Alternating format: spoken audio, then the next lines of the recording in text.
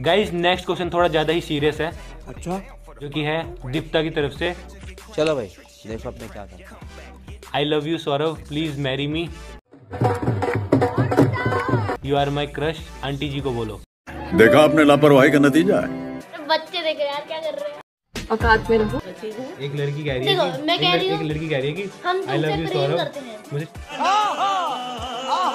मुझे शादी कर लो आंटी जी को बोलो। चल रहने दे.